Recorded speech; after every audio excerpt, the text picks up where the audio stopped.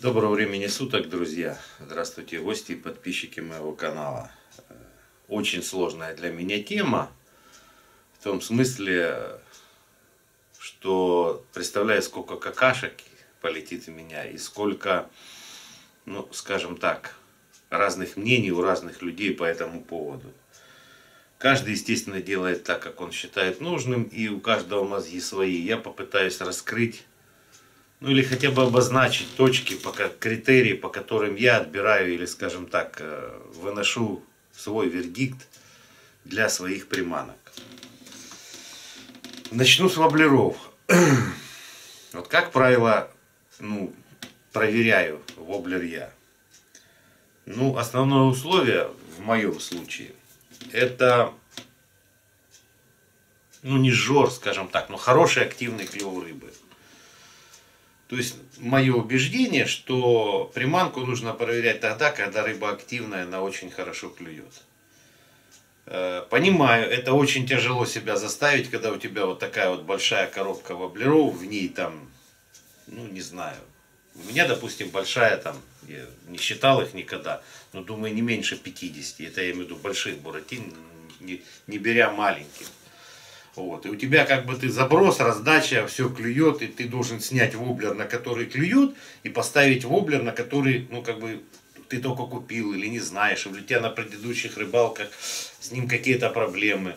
То есть, вот, как правило, как мы делаем свои выводы? Э, или как появляются всевозможные рейтинги. Вот я всегда смеялся, допустим, ну не смеялся, но, скажем так, мне было непонятно, э, как человек может делать такие выводы.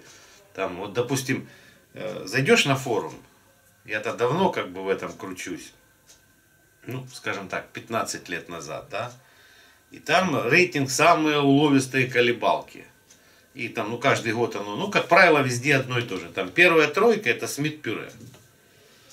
Если поговорить, допустим, с человеком, то как, как это вот оказалось? Вот у него их всего там 6 или 5. И тут пришел на рыбалку, поставил колебалку с мид-пюре, забросил, бабах, поймал рыбу. Там еще два раза забросил, поймал рыбу или поклевка. Еще раз забросил, поймал рыбу или поклевка. У него есть другая какая-то колебалка, я не знаю, ну любая другая, да.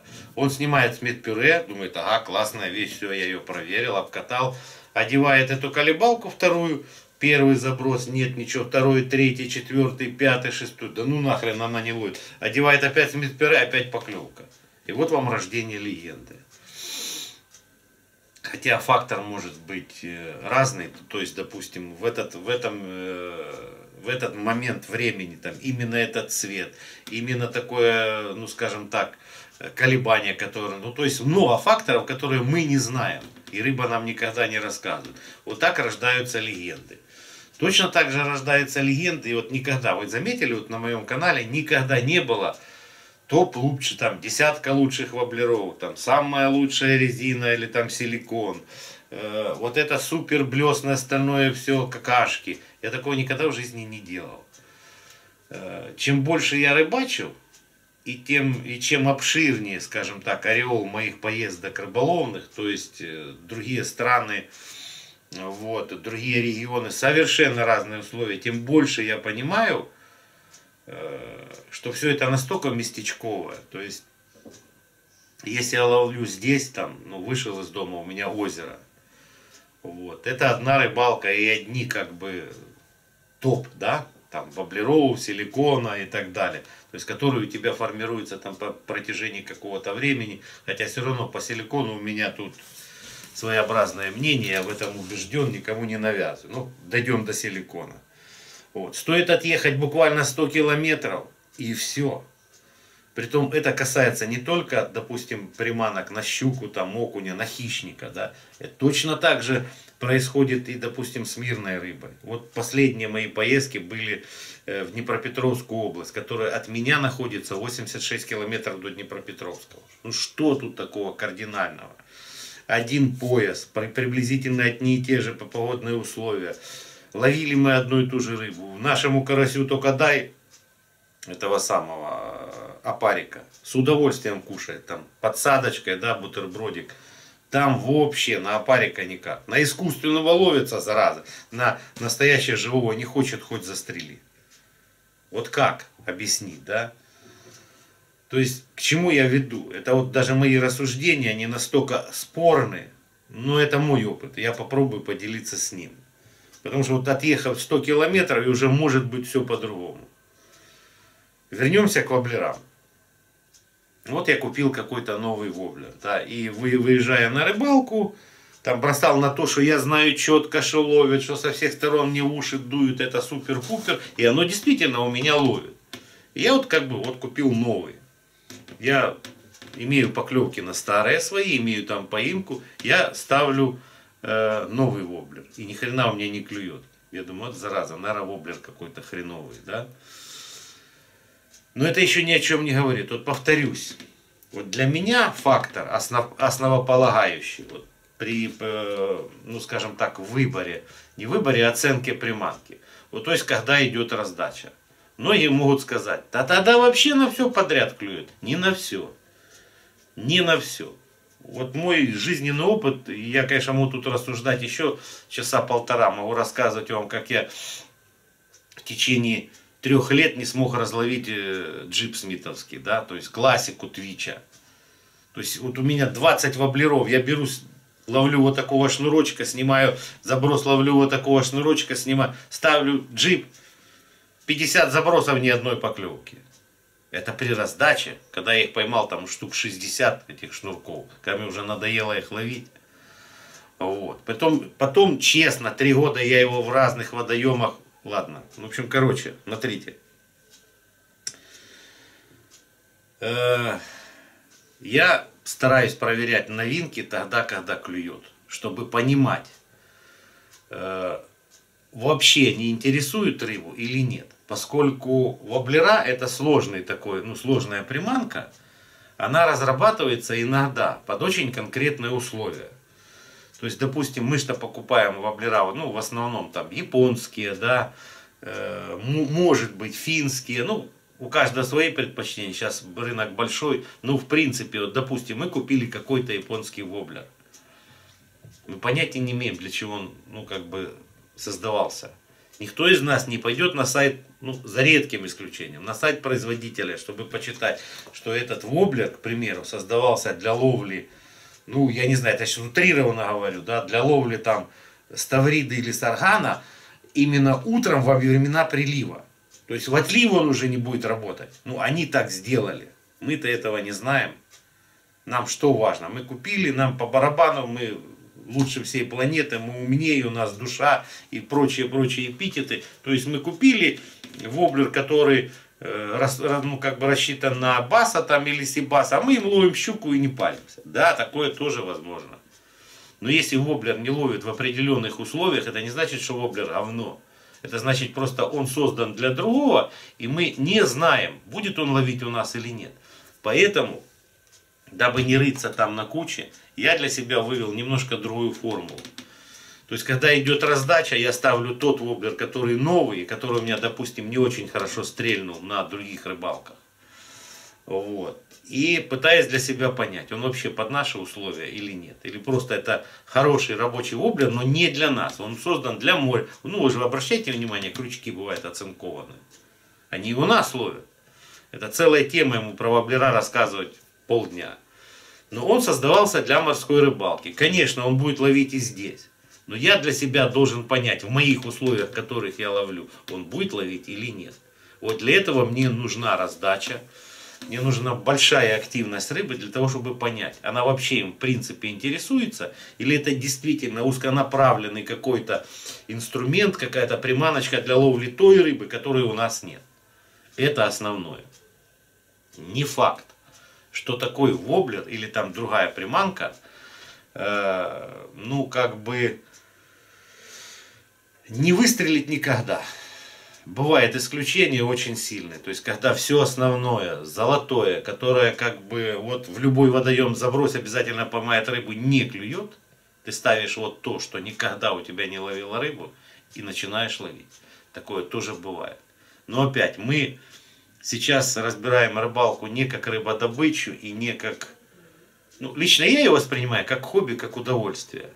И я не вот, вообще модно, трудовая рыбалка. Мне не нравятся трудовые рыбалки. Мне нравятся рыбалки, когда я ловлю рыбу и получаю удовольствие. Вот мы недавно с Никитой были на рыбалке, вот обсуждали эту тему. Вот он продал лодку с мотором, а работает он тяжело. Хотя он врач, но это у него тяжелая работа. И вот он говорит так, говорит, Дин, ты понимаешь, мне работы хватает на работе. Я здесь хочу просто получать удовольствие. Вот мы сидим, говорит, вот мне эта рыба нахер не нужна, что мы рубим. Тут, тут я ее могу купить, я не голодаю. Но я хочу раз и поймал, раз и поймал. А не так, как мы с тобой, говорит, целый день мотаемся, там 40 литров бензина спалили, там три несчастных седочка, четыре окушка поймали. Говорит, что это за рыбалка? Говорит, нахер она мне нужна? И мы вымотаны, говорит, возвращаемся домой. Вот я с ним согласен на 100%. И вот для того, чтобы рыбалка э, была не трудовой, я пытаюсь понять, что ловит как бы очень часто, а что ловит иногда. Точно такая же картина в железяках, притом неважно, это вертушки, колебалки и так далее. То есть я предпочитаю, вот, допустим, свои колебалки, которые я ну, иногда делаю, у меня есть свои модели, я это их не иногда делаю. Я делаю много, но какие-то идут в утиле, которые какие-то идут в массы. Я приезжаю вот э, туда, где некоторые самые умные, самые как бы, в общем, самые-самые. Говорят, вы ловите в кастрюле, вы ловите там, я не знаю еще где, в луже и так далее. Вот я приезжаю туда, и когда идет самая активная, ну как бы фаза поклевок форели, когда, как многие говорят, да что не забрось, она клюет. Бывает такое, что забрасываешь, а она не клюет на вот это. Сто процентов не клюет. То есть вот ты забросил одну блесенку, ведешь тык-тык, поимка, тык-тык, поимка, ставишь другую, как вроде это вообще другой водоем, вокруг тебя люди дух-дух-дух, один, второй, третий, а у тебя ни хрена. Вот есть такая блесна, черебауэр называется, да, ну бабочка такая треугольная, да, вот.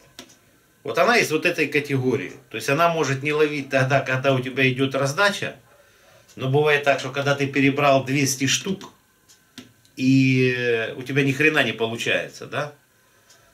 Ты ставишь эту блесну, ну только в определенном форель очень ну, привередливая рыба, да? И это одна единственная блесна делает тебе всю рыбалку. Вот бывает так. То есть есть сложные инструменты для поимки рыбы.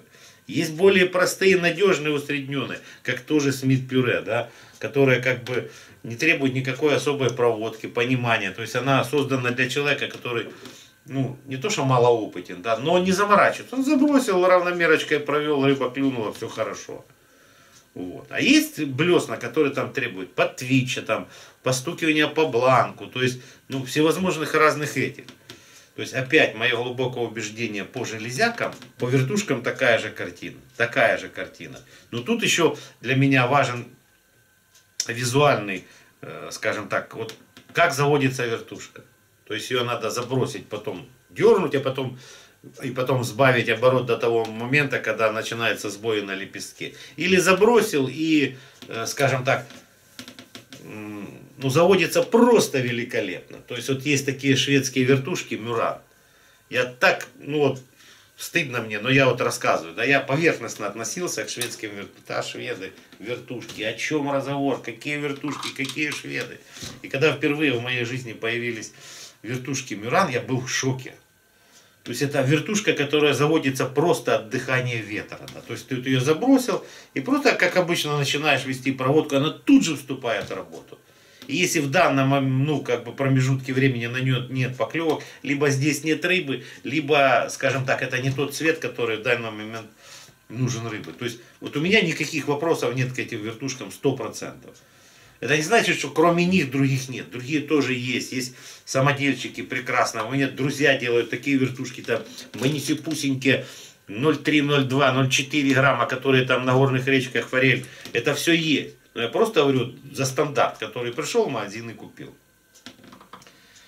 По калиблу так визуально я не скажу, потому что у меня лично бывали случаи, когда я делал колебалку, в ванне проводил, как она вот, ну, как бы ведет, и мне казалось, что это все надо выбросить э, в мусорное ведро, но, скрипя сердцем, думаю, ладно, вот послезавтра еду на рыбалку, посмотрю, как она на воде, И тогда уже выброшу. Но у меня было четкое убеждение, что я там 2-3 раза заброшу и выкину ее к ядрине фене. Приезжаешь на водоем, вот почему ванна как бы не всегда адекват. Во-первых, короткий промежуток, и во-третьих, ну, вода другая. Приезжаешь на водоем, эта э, колебалка начинает творить чудеса, и ты думаешь, ё-моё, так она ж как бы, а оно ловит. А оно ловит. Ну, с калиблом как бы немножко проще, особенно тех людей, которые, ну, как бы, вот я же говорю, форель, да? Вот. Или, ну, колебалка это инструмент, который можно поймать, там, уклеечку, можно поймать окунька. То есть, вы когда забрасываете э, водоем, особенно микроколебалку, вы не знаете, что у вас клюнет со стопроцентной уверенностью. То есть может клюнуть уклеечка, может клюнуть щука на килограмм, может клюнуть окунь, может там станфиш и так далее. Там вся рыба, там язь, голава или прочее, прочее, прочее. То есть это более универсально. Если, допустим, на вот такой воблер у вас клюнет либо щука, либо окунь, вот, то на вот такую колебалочку у вас вид рыб, который может клюнуть, расширяется до горизонта.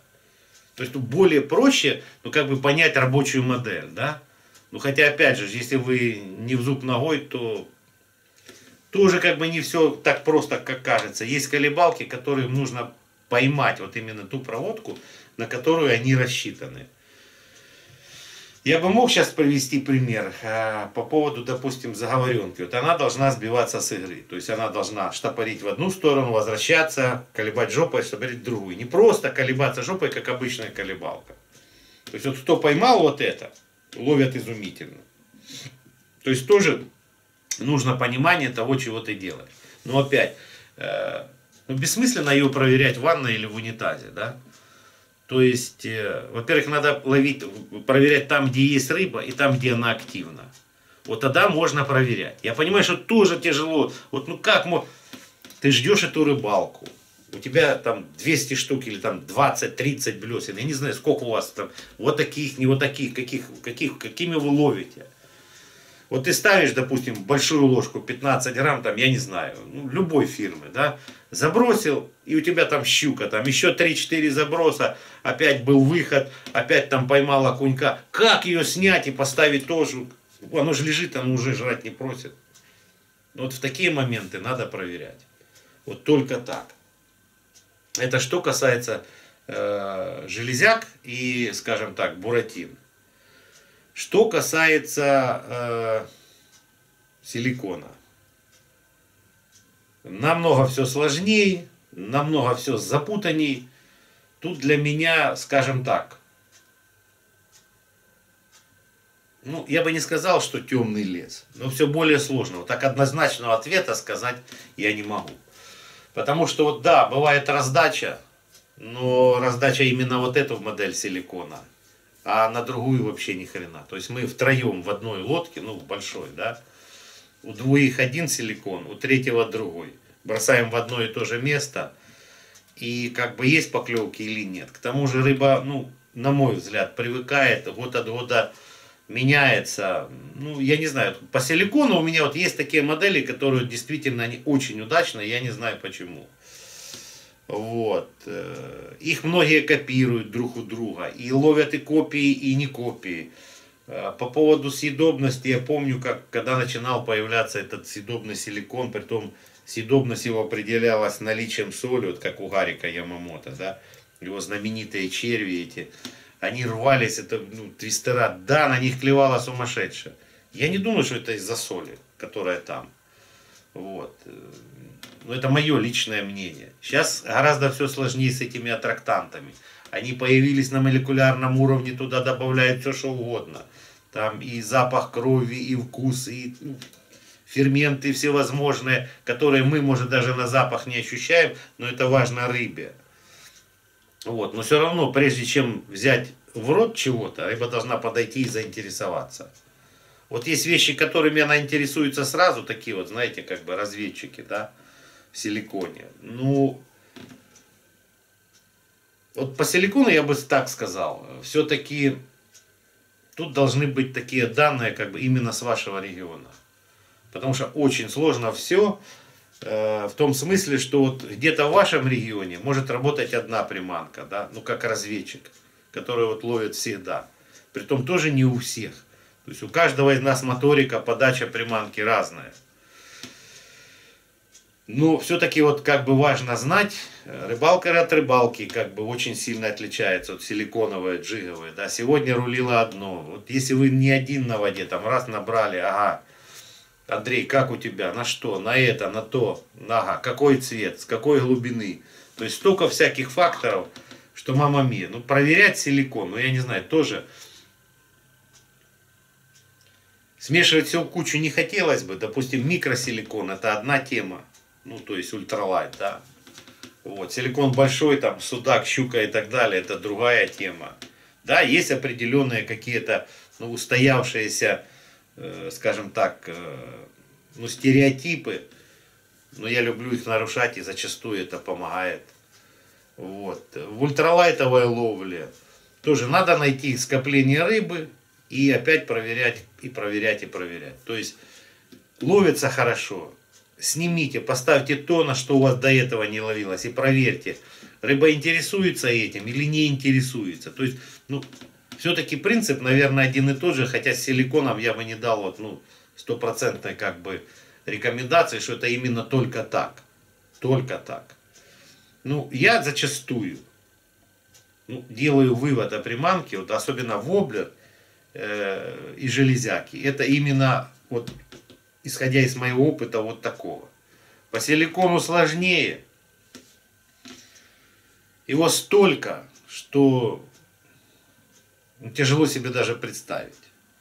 Не знаю, может быть кто-то из вас, у вас есть какая-то своя методика, э, ну скажем так, проверки силиконовых приманок на э, адекватность и ловлю. Потому что, ну скажем, в моем случае что написано на пачке, для меня не важно. Э, разные очень крутые фирмы, японские, эм, не японские, американские, выпускают кучу силикона. Э, наши умельцы делают точно такое же. И я бы не сказал, что оно там в разы хуже или даже просто хуже. Иногда, иногда копия гораздо лучше оригинала. Такое тоже бывает. И ловит гораздо лучше. И там сидит на, на крючке лучше, и там долговечнее и так далее. То есть я не знаю, вот у меня по силикону, как бы я, я не, вот у меня ящик на рыбалке, и мы перебираем. Э, знаю, есть приманки, в которые я верю. И они будут ловить, потому что я их буду одевать чаще, чем другие. Если я не верю в этот силикон, хотя он у меня есть, да, а верю в этот, потому что там из 10 рыбалок на 9 он мне приносил результат. Чаще всего я одену этот. Хотя, может быть, на этот бы тоже клевало. Но опять, если бы я жил где-нибудь на море, да, там на Дальнем Востоке, или, я не знаю, там в Швеции, или в Норвегии, где как бы там тоже не, не, не все так просто, что без трусов в воду не зайдешь, все тебе обдрызут, куда не забрось, везде рыба. И там как бы нужно знание, нужен опыт, понимание места и так далее, глубины и тому подобное. Но гораздо проще, потому что количество рыбы сумасшедшее, ну, в моем понимании, да, гораздо больше, чем у нас. И тратить время на замену вот этого на вот это, когда у тебя вот ты нашел, подобрал ключик – и у тебя чуть ли не каждая рыбалка трудовая, я понимаю, как это тяжело. Но иногда это делать надо. Вот мне немножко проще, я там несколько раз в году выезжаю в другие места, в разные, но раз которые находятся от меня там 6-7 тысяч километров, вот, иногда и больше. Опробую то, что дома, как бы опробую в других условиях. Мне немножко проще. Но у меня вот как бы готового рецепта нет. Понимаешь, что я наговорил тут хаотично, и э, только, ну, как бы, для людей, которые ждали от меня, что нужно, допустим, 200 грамм мяса, 300 грамм лука, 3 морковки, 2 луковицы и посолить, э, и вот вам готовое блюдо, там борщ или еще чего-то, я такого не могу сказать. Я могу только немножко поделиться своим опытом. Если у кого-то из вас учитывая ваш опыт, жизненный и рыболовный, есть какие-то свои предпочтения и наработки, пожалуйста, поделитесь с нами. Или сбросьте ссылочку на свое видео, расскажите, я буду очень рад э, как бы подчеркнуть чужой опыт, я его никогда не отрицаю.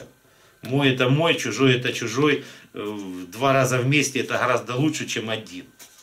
Очень буду благодарен, если вы напишите под этим видео комментарии свои, свое видение этой, ну не проблемы, а, скажем так, ну, скорее всего, проблемы, да, этой проблемы. Я буду очень рад, если вы напишите, как вы вот относитесь к тому, чему я сказал, как вы проверяете и так далее. Я думаю, для всех, для нас, для рыболовов, неважно, кто-то три дня ловит, кто-то, как я, 50 лет, это не важно. Важно как бы по крупицам собрать и применить или не применить для себя. Надеюсь, сильно камнями в меня не побросаете. Вот. Э, скоро будут рыбалки, будет их много. Практически каждый день. Но пока, спасибо, если вы были со мной. Обязательно напишите, как у вас с этим делом. Всем мира, добра. Еще раз спасибо, ребята. До новых встреч.